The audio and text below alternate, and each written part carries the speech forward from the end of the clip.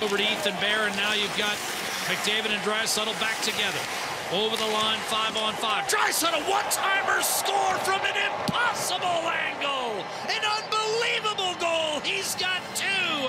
21 on the year, and the Oilers back in front. And I think it's just one of those shots that a goaltender doesn't expect it to come that quickly off an angle that Draisaitl was at. What a shot.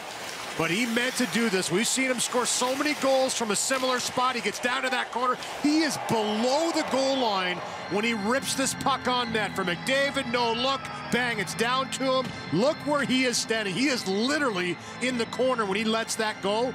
And he beats Hogberg, and he just looks afterwards and says, are you kidding me?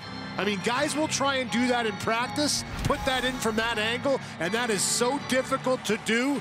What a shot by Leon Draisaitl.